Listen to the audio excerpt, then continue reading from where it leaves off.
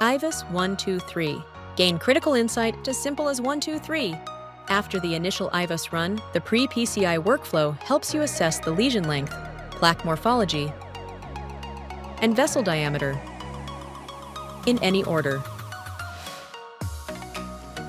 Lesion length. Define the appropriate landing zones and determine the lesion length. Plaque morphology. Study plaque morphology, lipidic, fibrotic, or calcific, to select the right modification strategy. Vessel diameter. Measure the vessel diameter at both the distal and proximal reference for proper stent sizing. Post-stent workflow. After the final IVUS run, the post-stent workflow helps you evaluate the stent edges, stent apposition, and stent expansion in any order. Stent edges. Geographical miss. See if the stent missed the lesion, and check if the stent caused any edge dissection. Stent apposition.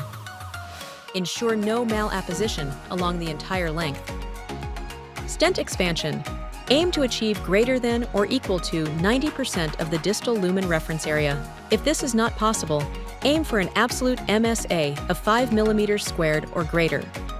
IVUS 123 helps clarify decisions, reduce complications, and improve efficiency. Backed by evidence, reproducible and as simple as 123